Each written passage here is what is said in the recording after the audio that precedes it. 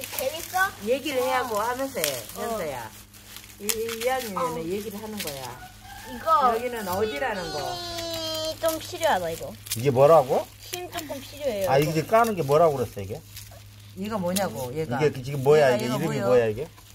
양파요. 마늘이라고 했다 마늘. 아, 아 헷갈리.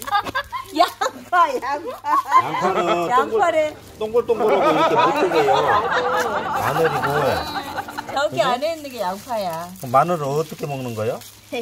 얘기해봐. 어, 많이 안 먹어. 그냥 안 먹어봐서 모르겠어요. 너 먹을 텐데 마늘 네 양념 밥 먹는데 이 양념이 다 들어가는데. 맛있어요. 어?